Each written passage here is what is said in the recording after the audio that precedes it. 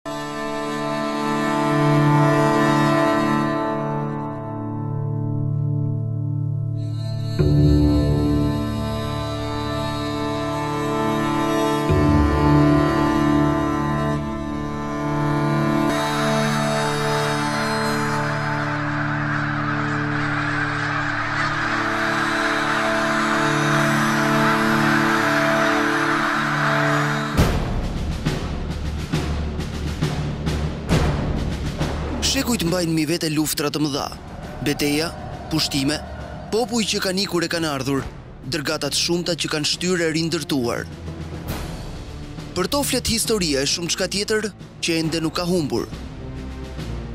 Gjurmët e së shkuarës janë kudo, edhe këtu ku besimtarët kanë hyrë prej motesh të lashta, Ku thuhet se shkeli Skënderbeu, e ku sot gjithçka fshihet pas trupave të KFOR-it. Por a heshtin rrënjët, themelet, gjurmët, a heshtin këta gurë?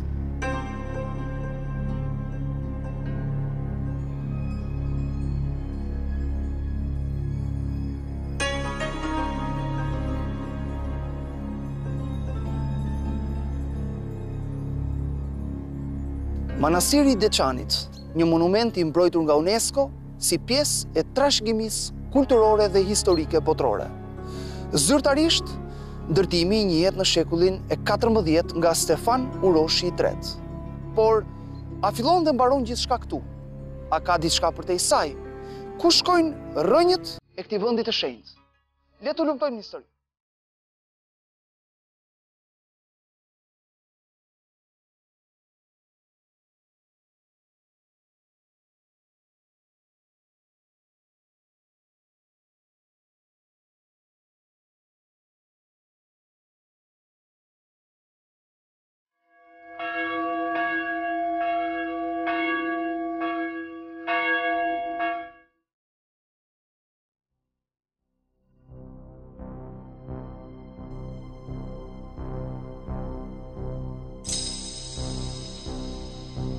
Një histori më vete përcjellin afreskët e këtij manastiri, të cilët janë jo vetëm të rrallë dhe të veçantë, por u kanë dhënë udhë edhe fantazive të ndryshme mbi krijimin dhe ekzistencën e tyre. Për fat keq, në brendësi e kemi të pamundur të filmojmë, pasi klerikët Janë jo shumë miqësorë me gazetarët.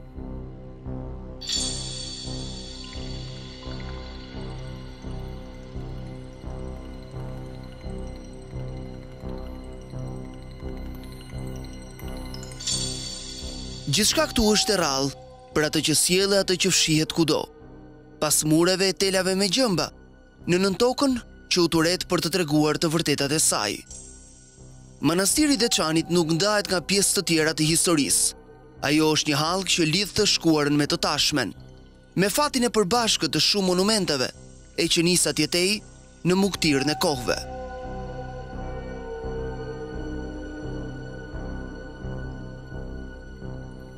Shekulli i katërt, më saktësisht viti 395, shënon ndarjen e perandorisë romake në dy pjesë. nga njëri krah ajo perëndimore dhe në tjetrin ajo lindore, ose siç u njoh më pas, Perandoria Bizantine. Pikërisht në këtë të fundit bënin pjesë trojet e Ilirisë, që për shkak të pozicionit të tyre ishin një urë lidhëse mes dy perandorive, ndikimi i të cilave do të ndihet jo pak në të gjithë këtë hapësirë. E kjo duket edhe në faktin se nga pikëpamja kishtare, këto treva fillimisht u vunë nën autoritetin e Romës, Në hapësirën e Dardanisë, shumëçka ndryshoi gjatë kohës kur drejtimin e kishte perandori ilir i Bizantit, Justiniani i Parë. Krahas Selanikut, nga ana kishtare, u forcua edhe vikariati i Shkupit, i njohur ndryshe si Justiniana Prima, ku përfshihej, mes të tjerash, edhe Kisha e Dardanisë. Teksa krishtërimi kishte shekuj që zhvillohej në qytetet e vjetra të Ilirikut, çka përfshiu në përballje Konstantinopojën e Romën, për të siguruar varësinë e tyre, nisën dyndjet e paganëve sllavë. Pjesën e dytë të shekullit të gjashtë, gjysma e dytë e shekullit të gjashtë, ata erdhën me turma më të mëdhaja dhe filluan të vendosen si banorë në territoret e Ballkanit Verior në përgjithësi, aty ku terreni ishte më i përshtatshëm për ata, meqenëse vinin nga zonat fushore të stepave, u vendosën në zonat fushore, duke përfshirë territorin e Serbisë, Maqedonisë edhe më lart akoma. Vërshimet u bënë në disa faza, fillimisht ato barbare, ku bënin pjesë visigotët, hunët, gotët, avarët, e më pas sllavët. Gjithçka u shoqërua me masakra dhe shkatërrime masive në qendrat ilire, popullsia autoktone e të cilave u detyrua në masë të shtyhet drejt jugut. Teksa dominimi kishtar kish kaluar në krahun bizantin në mes-shekullin e tetë, popullsitë e ardhura rezultojnë në këtë periudhë të kenë qenë ende pagane. Të parët që kalojnë në status tjetër janë bullgarët, e kjo ndodh vetëm në shekullin e nëntë. Është viti tetëqind e gjashtëdhjetë e gjashtë kur mbreti bullgar Boris pagëzohet në viset e Ilirisë në ritin bizantin të Kishës së Lindjes, e thënë ndryshe, në atë që pas ndarjes do të përbënte besimin ortodoks. Kjo është edhe ikona e cila tregon mbretin Boris teksa pranon krishtërimin, së bashku me popullin e tij. Ai mori emrin Mihal, pasi perandori bizantin Mihali i Tretë ishte nuni i tij. Një histori e cila pranohet zyrtarisht edhe nga autoritetet bullgare.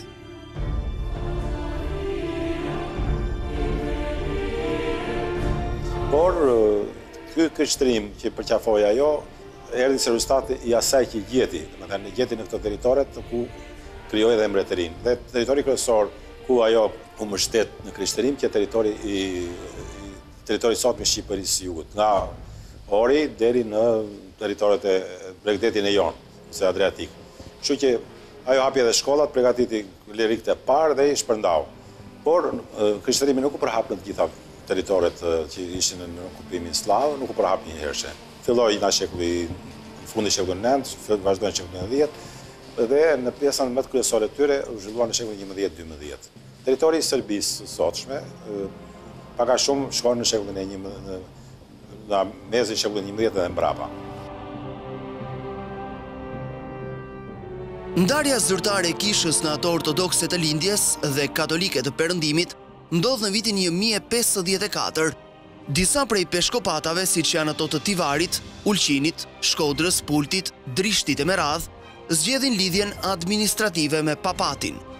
Prania e Kishës Katolike haset më pas në shekujt dymbëdhjetë e trembëdhjetë edhe në Prizren, Shkup, Graçanicë, Trepçë e me radhë. Serbët, të lokalizuar në atë që njihet si Shteti Mesjetar i Rashkës, e pushtojnë tërësisht Kosovën vetëm në shekullin e trembëdhjetë gjatë periudhës së dinastisë së Nemanjëve, të cilët shfrytëzojnë një marrëveshje për të gëlltitur territore të tëra. Favori i parë kishte lidhje me hapjen e pakontrolluar ushtarake të bizantinëve, që përjetuan edhe vrasjen e perandorit Andronik Komneni dhe zëvendësimin e tij me Isak Angjelin e Dytë.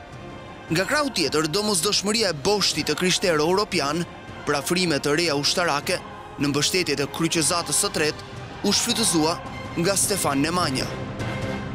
Duke shfrytëzuar këtë situatë, këtë ekspansion, këtë të kryqëzatës, kryqëzatës së ushtërive perëndimore drejt pushtimit të Lindjes, Stefan Nemanja kishte një pakt marrëveshje me ta, të cilët territorët të cilët do të pushtonin nga Danubi e të poshtë do t'i njiheshin Stefan Nemanjës Dhe kësisoj Stefan Nemanja, arriti të depërtonte nga jugu të gjithë territorëve të Kosovës, kurse kryqëzatat vazhduan drejtimet e tyre në Nish nga Bullgaria. Dhe depërtimet e para datohen në vitin një mijë e njëqind e nëntëdhjetë e gjashtë. Në shekullin e trembëdhjetë, Sava Nemanjiç pavarëson Kishën Ortodokse Serbe. Agresiviteti kundrejt gjithçkaje të ndryshme, qoftë kjo mes klerikëve apo besimtarëve të thjeshtë, u kthye në boshtin e një politike të dhunshme asimiluese, sidomos kjo pas vitit një mijë e treqind e dyzet e nëntë, kur Stefan Dushani zyrtarizon Kodin e njohur me emrin e tij. Kodi i Dushanit, që është i njoftun si Zakoniku i Dushanit apo Kodi i tij, në të vërtetë për mua është një lloj kushtetute, shumë e vrashtë, edhe përmes kushtetutes fillon me bo një lloj gjenocidi mesjetar ndaj gjithë atyne që nuk i nënshtrohej shtetit edhe kishës tyne. Kryesisht popullata jo-sllavo-ortodokse kishte një diskriminim, themi, kulturor dhe pse jo edhe etnik. Mund nga fakti se në këtë kod të Dushanit thuhej qartë se në qoftë se zihet ndonjë prelat, duke besimtarët jo ortodoksë ai në bazë të këtij kodiku të Stefan Dushanit, kodit të Stefan Dushanit i quante gjysëmbesimtarë. Ata që nuk ishin ortodoksë i quante gjysëmbesimtarë dhe thoshte se në qoftë se do ta gjente ndonjë prift, i cili do të do ta predikonte fenë katolike, ai do të merrte masa të ashpra deri me dënime, gjymtime deri me vdekje. Përmes këtij zakonori synohej fshirja e identitetit të objekteve të kultit që ekzistonin shekuj para mbërritjes së sllavëve, por edhe strukturës së popullsisë autoktone. Goditja ndaj arbërorëve ishte e fortë dhe e shoqëruar me një valë represioni të jashtëzakonshëm, për hir të së vërtetës, Në këtë pikë ekzistojnë dy mendime. Njëri, se shqiptarët e kohës të gjendur nën administrimin bizantin ishin ortodoksë, ndaj edhe u kërkohej përmes dhunës të konvertoheshin nga varësia e kësaj kishe në atë pravosllave. Qëndrimi i dytë, i vendos shqiptarët pjesë të strukturës kishtare të lidhur me Romën. e rrjedhimisht katolikë. Kjo e dëshmuar edhe me politikat radikale që u ndërmorën ndaj kësaj popullsie përmes Kodikut të Dushanit. Klerikët katolikë persekutoheshin, objektet e kultit shndroheshin në ortodokse, konvertimi niste e bëhej deri tek emrat e të porsalindurve. Unë e shprehi një mendim, edhe jam shumë i bindun, që sërbët, që historikisht dihen, që janë të ardhun, e kanë marrë ortodoksinë prej neve, jo pse ja u kemi imponu, po me ardhjen e tyre, me vendosjen e tyre, mbas asaj dhune të madhe që i kanë shkaktu, Prokopi Cezaresë thotë, me dyndjet ka pas vizigot e ostrogot e sllav, po të fundit kanë mbetë sllav, kur u shkatrru perandoria romake e perendimit. Thotë gjitha rrugët e Ilirisë u mbushën me kufoma të pavarrosura, aq shumë u vranë njerëz në ato farë dyndje të tyne. mirëpo me stabilizimin e tyne kanë jetu, bashkëjetu me një popullsi autoktone vendase që kishte një kishë, një besim e që në të vërtetë ishte kisha ortodokse bizantine. Por përtej këtyre qëndrimeve të ndryshme për boshtin fillestar katolik apo ortodoks të shqiptarëve, element thelbësor i faktuar dhe i pakundërshtueshëm mbetet se sllavët, Krishtërimin e përqafuan në trojet arbërore nga popullata vendase. Më e faktuar është pikërisht dhuna masive ndaj katolikëve, që pranohet edhe nga vetë Stefan Dushani, ashtu siç edhe tjetërsimi i objekteve të kultit. Në morinë e dokumenteve të cituara në veprën e detajuar të historianit Gjon Berisha, gjendet një i tillë mjaft interesant që mban vitin një mijë e treqind e pesëdhjetë e katër e ku Stefan Dushani, me sa duket përmes një manovre diplomatike, ka dashur të riafrohet me Papatin. Në letrën dërguar Papa Inocentit të gjashtë, ai shpreh gatishmërinë të pranojë pushtetin e tij dhe t'i kthejë katolikëve kishat dhe manastiret e uzurpuara. Janë të shumta letërkëmbimet ku vetë krerët e Vatikanit i kërkojnë Stefan Dushanit lirimin e tyre apo heqjen dorë nga dhuna masive ndaj katolikëve. Një tjetër dokument i cituar në veprën e mësipërme ka të bëjë me një relacion të shekullit të shtatëmbëdhjetë, ku Fra Kerubini, relator i Papës, veç përshkrimit të manastirit të Deçanit, thekson se atje kishte gjetur edhe klerikë shqiptarë. Por, le të ndjekim për një moment vijën zyrtare të historisë e të shohim mospërputhjen dhe shtrëmbërimet e saj.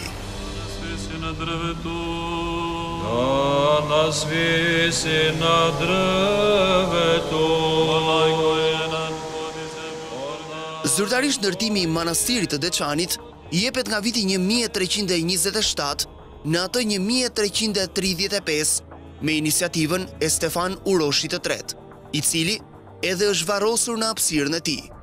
Sipas historiografisë serbe, emrin zona e ka marrë pikërisht nga kupola e lartë plot tridhjetë e dy metra. Por, a ka mbështetje kjo tezë? Nëse Deçani emërohet i tillë nga një kupolë, Po në kohët antike, si quhej kjo zonë? A mund të pretendohet se këtu nuk ka patur banorë më parë? A ka fakte plotësuese që hedhin dritë mbi të shkuarën e këtij vendi? Një nga elementët më të rëndësishëm ka të bëjë me ekzistencën jo larg këtij manastiri të një vendbanimi apo lokaliteti të vjetër, i cili për fat keq ende nuk është prekur nga gërmimet arkeologjike. Megjithatë, Hulumtimet e pakta që kanë mundur të bëhen kanë dhënë rezultatin apo verdiktin se këto rrënoja vijnë nga periudha më e lashtë. E në këto kushte sigurisht, rrënjët apo fillesa duhen kërkuar pikërisht nga ky vendbanim. Ndër lokalitetet më të rëndësishme arkeologjike që janë në afërsi të manastirit të Deçanit është Kulla e Qelisë dhe Kroi i Erinës. Por çfarë fshehet në të vërtetë në brendësi ose në themelet e kullës, të kullës së Qelisë, janë arkeologët ata që do të mund të thonë fjalën e tyre. Nga koha është ruajt vetëm si emërtim, Kulla e Qelisë, ndërsa pirgu i saj, i cili i qëndron ende kohës, përngjan me kullat vrojtuse që zakonisht i kanë pas kalatë të cilat e kanë bërë vrojtimin e hapësirës përreth lokalitetit apo vendbanimit. ku kanë jetuar banorët.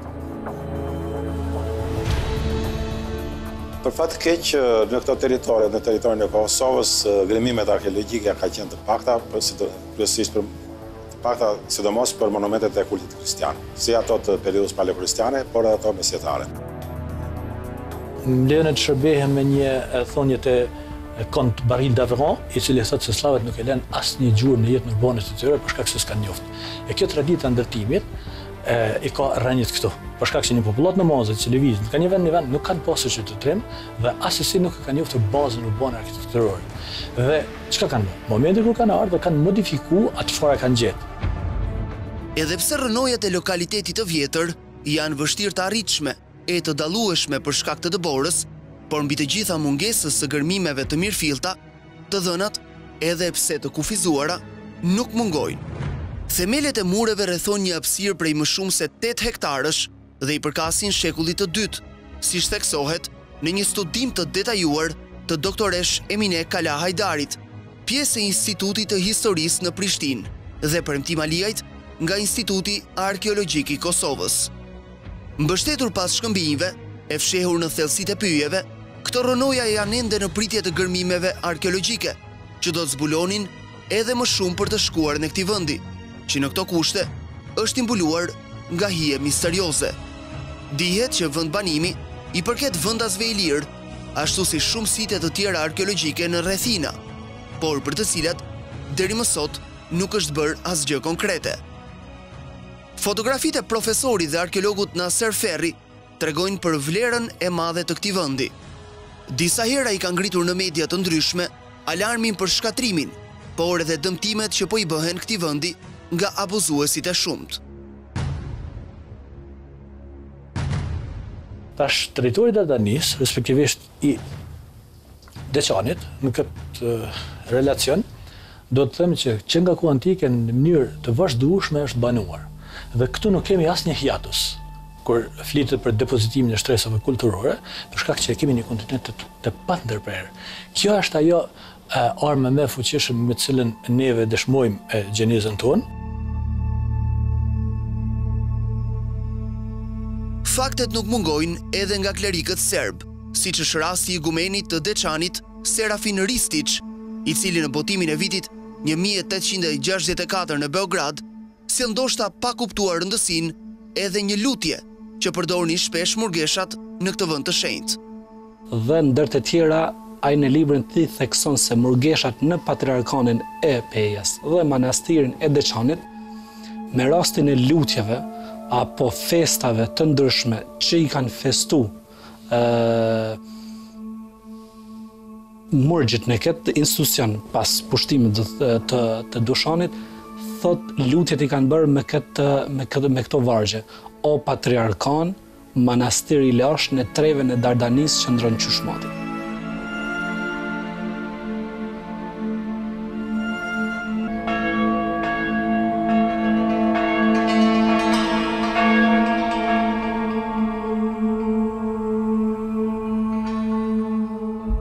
Në fakt shumë nga tezat serbe, që përfshijnë periudhën e ndërtimit, përbërjen e popullsisë vëndase të Deçanit e mjaft elementë të tjerë, mbështeten në një dokument që daton diku në vitin 1330. Përmes tij i jepet jetë historiografisë aktuale dhe gjithçkaje që vërtitet rreth saj. Por a është i vërtetë dokumenti i njohur si Krisobula e Manastirit? Çfarë përfaqëson dhe a ka fakte që i vënë seriozisht në pikëpyetje vërtetësinë e tij? Cilat janë dyshimet që ngrihen mbi të? Ky dokument cilësohet si mjaft i rëndësishëm nga historiografia serbe.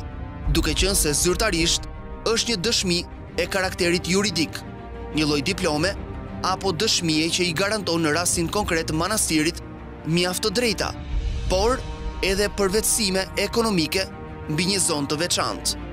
Por përtej të dhënave që sjell ky dokument, ku përfshihen edhe të tilla të cunguara për përbërjen e popullsisë, ajo vetëm lë hapësira për interpretime, por paraqitet me disa fytyra.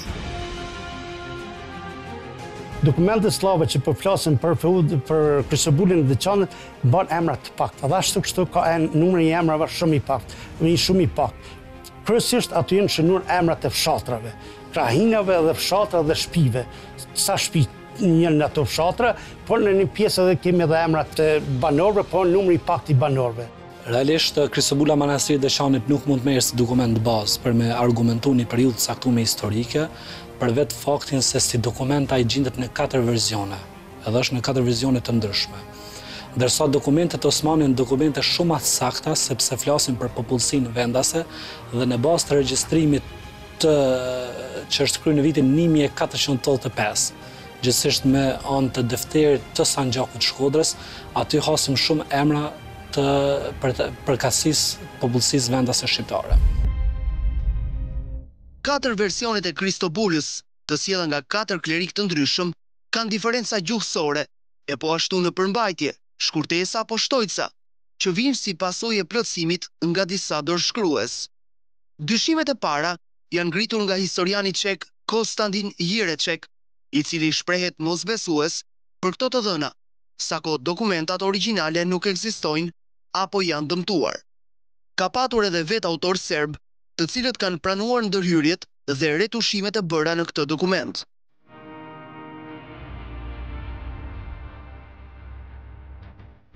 Sot në Arkivën Shtetërore të Kosovës ruhet një shkresë, në të cilën theksohet, se kopja e Kristobulës është marrë nga manastiri në trembëdhjetë shkurt një mijë e tetëqind e dyzet e pesë dhe është dërguar në Beograd. Pesë vite më pas, klerikët kanë kërkuar rikthimin e saj përmes një dokumenti të pasqyruar me datën pesëmbëdhjetë tetor një mijë e tetëqind e pesëdhjetë. E megjithatë kopja e Kristobulës ka mbetur në Arkivin Shtetëror të Beogradit, ku ruhet ende dhe sot në gjendje jo të mirë dhe pa numra inventari. Pra duhet theksuar fakti se çdo lëvizje, kërkesë apo pronësi është mbi disa kopje e jo mbi krisobulën origjinale, e cila nuk ekziston. Fakt është se të dhënat që sjell historiografia serbe bien ndesh edhe me ato që vijnë përmes dokumentave të tjera zyrtare, këtë herë, të Perandorisë Osmane. Në regjistrat osmanë të shekullit të pesëmbëdhjetë nuk është e vështirë të dallosh emrat e banorëve të krishterë shqiptarë të kësaj zone. Por, nëse ka patur të tillë, a nuk duhet të kishin ata edhe një objekt kulti ku kanë kryer ritet e tyre fetare prej shekujsh? Ky objekt humbi apo siç kërkon logjika, kisha e dikurshme është manastiri i ri.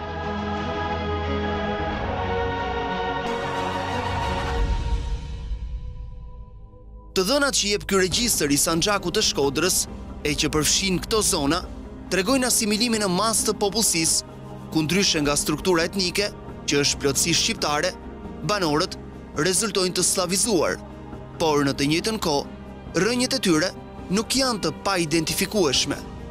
Përkundrazi, ato janë të qarta e shërbejnë më së miri për të kuptuar ndryshimet e dhunshme të imponuara nga dinastitë serbe. Kur bëhet një një regjistrim nga ana e Perandorisë Osmane, aty do të shifet se si është simbioza e antroponimisë arbërore vendose. Aty do dalin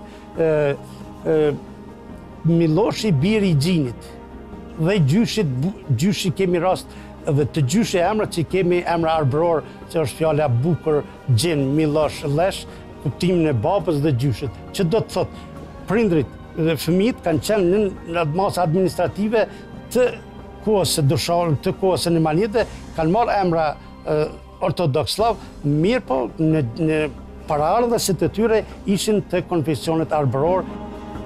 Por një fakt tjetër që është shumë interesant që hasim te defteri i regjistrimit Sanxhakut Shkodrës, flitet edhe për kishën e Selishtes dhe në, për një kishë tjetër në regjionin e Vukshit që në kuadër të këtij dokumenti thuhet se ato, ato kisha janë mbyllur pas kërkesave që kanë ardhë nga vetë murgjit që kanë shërbyt. Zoti Imeraj rendit edhe një fakt tjetër, mjaft të rëndësishëm, që lidhet me defterin e vitit një mijë e katërqind e tetëdhjetë e pesë, i cili është botuar në shtatëdhjetë e katrën nga Akademia e Shkencave të Shqipërisë. Në të dallohen emrat autoktonë, Gjon, Gjin, Kol, Progon, Tanush, Bushat e me radhë. Emra, që hedhin poshtë çdo pretendim serb për ripopullim të Kosovës me popullsi shqiptare. Për të pasqyruar edhe më konkretisht atë që ka ndodhur, dhunën e jashtëzakonshme dhe politikën asimiluese që kanë pësuar shqiptarët, duhet t'i referohemi të njëjtit regjistër, të të njëjtës ndarje administrative, por diku njëqind vite më pas. Nëse defteri i parë nxirrte shumë shqiptarë të sllavizuar, po tjetri? Çka ndodh, për me kuptu drejt këtë punë, në regjistrin e sanxhakut të Shkodrës të vitit një mijë e pesëqind e tetëdhjetë e dy, që kjo popullsi e Pejës, që ishte me nëntëdhjetë, ndoshta nëntëdhjetë e pesë përqind e veshur me antroponimi sllave, Me një mijë e pesëqind e tetëdhjetë e dy na dalin nadhjetë e pesë, nadhjetë ose po ndoshta edhe nadhjetë e pesë për qind me antroponimi tipike turko-arabe. Domethonë antroponimi totalisht e zhveshur prej asaj që ishte para njëqind vjetëve. Në çdo rast fakti që në këtë zonë ka patur edhe kisha të tjera, siç dëshmohet nga regjistrat osmanë, apo edhe të dhënat e sotme të arkeologëve, tregon për lidhjen e hershme të banorëve autoktonë me këto objekte kulti. E jo vetëm kaq, mjafton të përmendësh faktin se krahina ruan e feston edhe festa të krishtera, të cilat sigurisht nuk mund të zhduken nga memoria e më të moshuarve. Aq më tepër, kur ato kanë ardhur e janë zhvilluar nga një traditë e gjatë e kulteve, mitologjisë dhe legjendave të ruajtura në këto anë.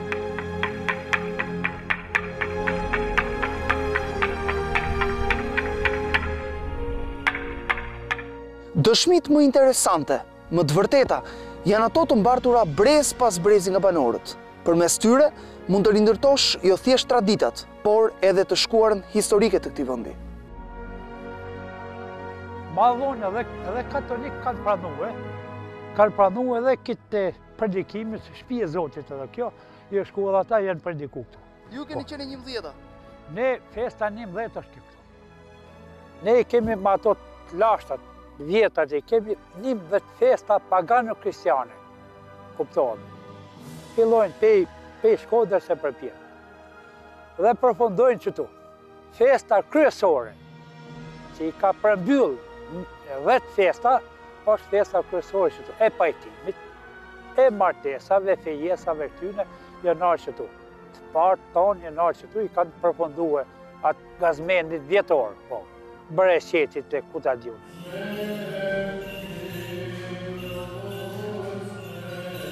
Po vinim këtu, se këtu, këtu, këtu mblidhëshim, mblidhëshim prej anë e anës, shqiptarët, po mblidhëshim këtu.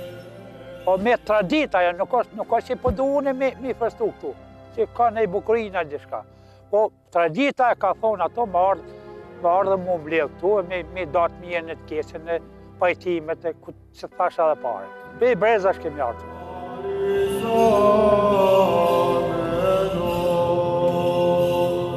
Por historia e këtij manastiri lidhet edhe me një element tjetër të veçantë që vjen si burim nga shumë historianë e arkeologë.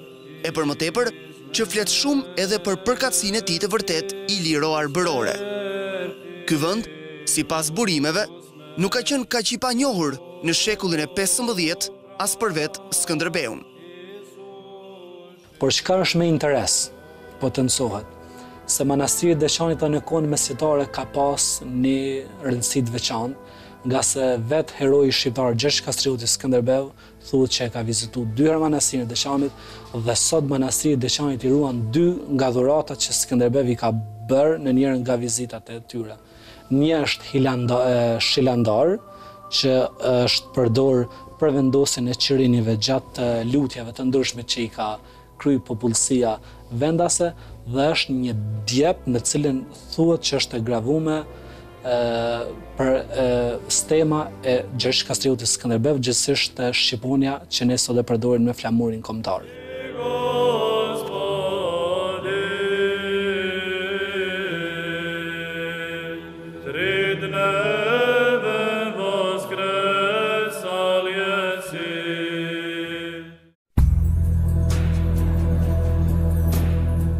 Elemente identitare të veçanta vijnë edhe përmes fotografive të vjetra, të cilat tregojnë në të njëjtën kohë edhe rëndësinë dhe afërsinë që kanë patur shqiptarët me këtë manastir. A mund të gënjejnë këto imazhe? Dhe mbi të gjitha, e çka është edhe thelbi i të gjithë çështjes, pse qëndron i mbyllur arkivi dokumentar i këtij manastiri për historianët? Shumë prej këtyre fotografive ruhen në Arkivin Shtetëror të Kosovës, por edhe qarkullojnë kudo në rrjetet sociale. Ato flasin e japin mesazhe të qarta që mund t'i gjykojë kushdo. Gjithkund ka popullsi shqiptare. Veshja e tyre është lehtësisht e identifikueshme. Për më tepër që kudo në Deçan e më gjerë, njihen edhe familjet shqiptare, të cilat kanë shërbyer si vojvodë apo ruajtës të këtij manastiri. Çka dallohet edhe në disa fotografi.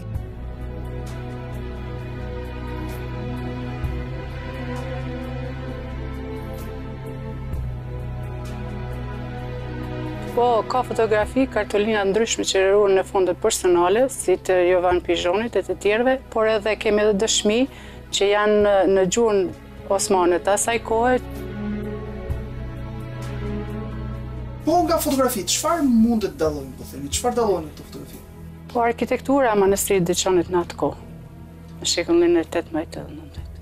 Po ndërkohë banorët, besimtarët kemi? Po, ka dhe të tilla. Pikërisht arkitektura përbën një ndër elementët më të veçantë të këtij manastiri. Fakt është se rindërtimi i tij është bërë në shekullin e 14 në drejtimin e një gurskalitësi shqiptar nga Kotorri, sot nën Mal të Zi.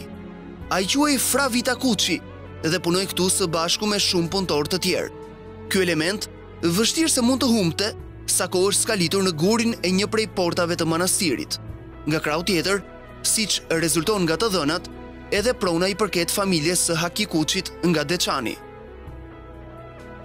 Kjo ka një arkitekturë tipike romano-gotike në fasadën e jashtme, kurse plastika e jashtme dekorative ka një të veçantë. Këtu kemi shumë elemente zoomorfe, kemi elemente antropomorfe dhe kemi elemente florale, motive florale. Mund të themi se është i vetmi rast manastiri i Deçanit se është me një arkitekturë kaq të përzirë, Thamë po, asnjëherë arkitekturë tipike bizantine ose sllave, për shkak që sllavët më vonë e krijuan një identitet,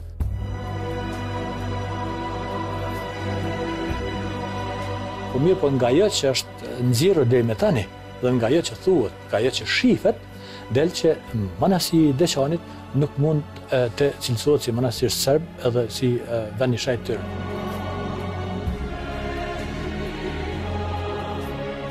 Mbyllja e arkivit, mosqasja për historianët shqiptarë, është natyrisht që ndërlidhet me pjesën enigmatike të kësaj treve të lashtë dardane.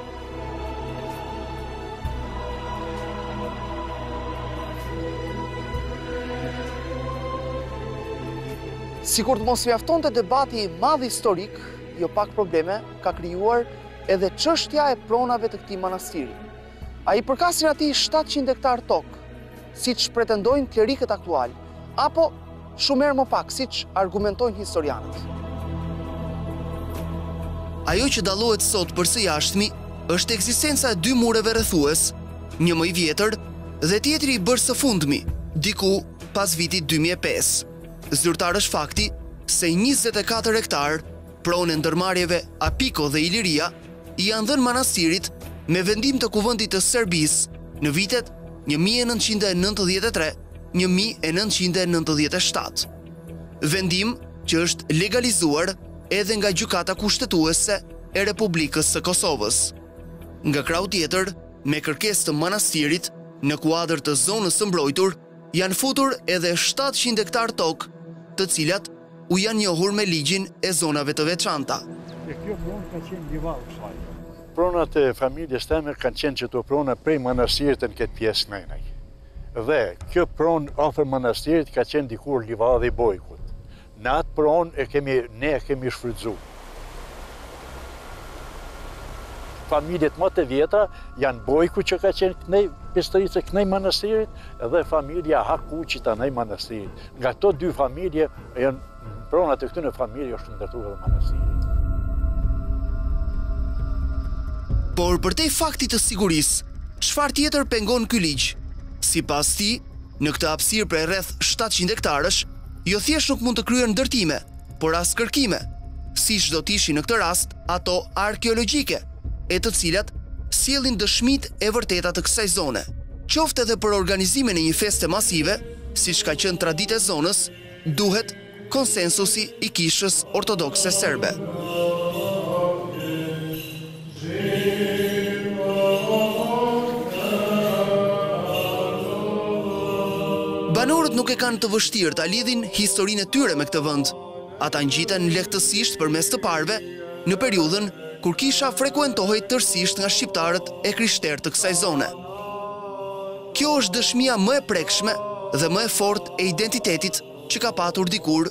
Ky objekt i shenjtë.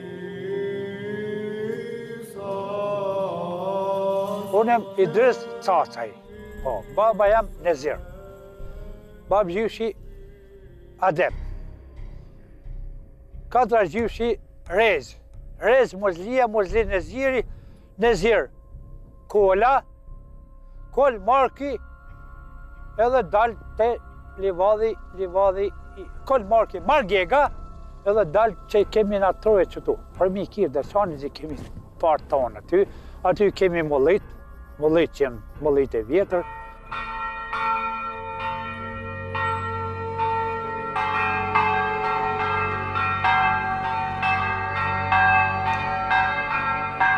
Kanë shku, kanë shku në kisha, atëherë kanë shku.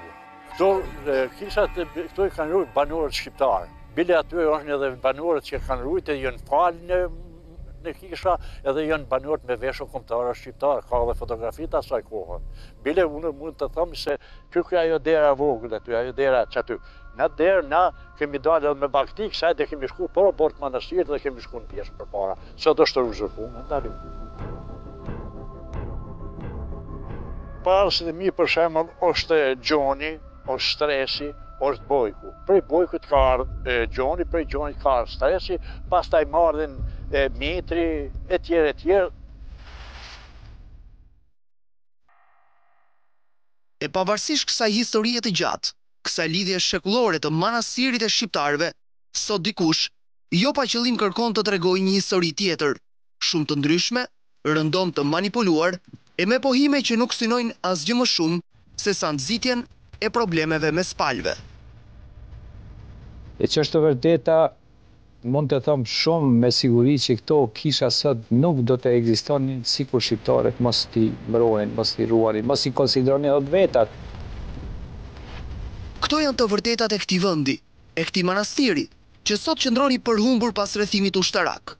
e gjurmëve, rrënjëve, e historisë që lidhet me banorët autoktonë të kësaj krahine që në lashtësi.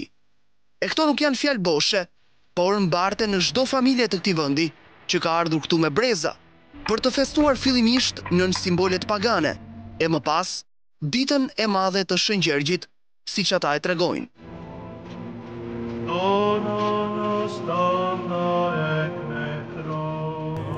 Ta cilësosh Manastirin pronë, ta bashkëlidhësh me flamuj nacionalistë, ta fshehësh pas petkut të klerikut, nuk shërben për asgjë më shumë, se sa për të mbyllur më tej këtë qerthull telash me gjëmba, që nuk ekzistonte dikur, por qëndron hijerëndë sot. E pra, të gjithë banorët vinin këtu që në shekujt e largët, Edhe atëherë, kur nuk e ruante kërkush.